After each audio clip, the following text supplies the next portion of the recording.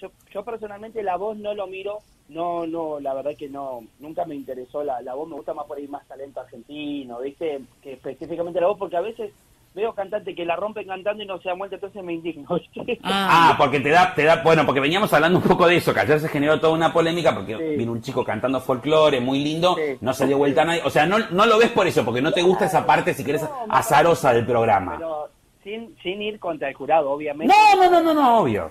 Uno está de espaldas, eh, es el- esa parte es la que me parece, digo, si lo estarías viendo, digo, más, a ver, sin verlo, ya con escucharlo, uno, va, yo me daría vuelta 20, todas las veces creo, porque todas las personas que van a, a, a la voz, todas, pero creo que debe ser tres o cuatro las que por ahí no puedan llegar, pero Mm. todas tienen muchas condiciones y muchas veces no se las no se dan vuelta, ¿viste? No quedan, y quedan otros que por ahí, ¿viste? Vos decís, che, era para tanto, para que se den vuelta los cuatro. Nada, Claro. entonces dije, no, no, lo miro, no, no, no lo miro, ¿viste? Y yo Bien. no lo miro.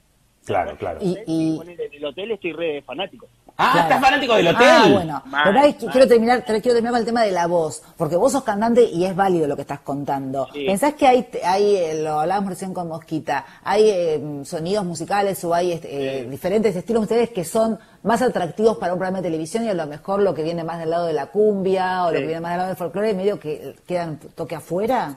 Mirá, últimamente la cumbia estuvo muy incluida en todos los rubros televisivos, me parece que Mm. abarcó y ganó muchos espacios en, en este último tiempo, ¿viste?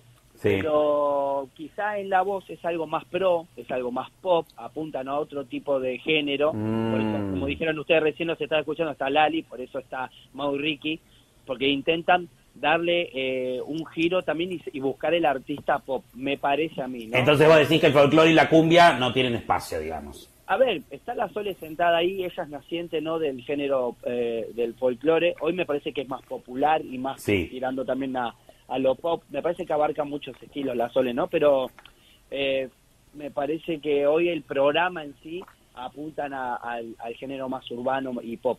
Bueno, acá Brian está dando un punto, ahora no nos metemos en el otro tema, pero acá Brian está dando un punto muy interesante que es, bueno, si efectivamente, lo que pasa que el tema es que se llama la voz argentina, se está buscando una voz, pero también es Sí. cierto que hoy lo que mueve es el pop. Si bien es cierto Sí. que el folclore y la cumbia mueven un montón, la realidad es que quizás, como dice él, desde esta cosa más, si querés, más pro que tiene la voz argentina, garpe más, pero después termina ganando el año pasado Francisco Benítez, que cantaba folclore. Por eso me llama la atención un poco que Y este la año... haya- cumbia también. O sea, vos Bueno, pensás, claro, yo pensaba, digo, que no tenemos ningún representante de la cumbia para estar sentado en el jurado. No digo que hay que sacar a alguno de los que está, pero No, digo, no, me pongo no a pensar. decir que- no, me parece que hay muchos, desde Antonio Río, que es un ícono referente de la Sí. movida musical, hasta- Bueno, la misma Karina.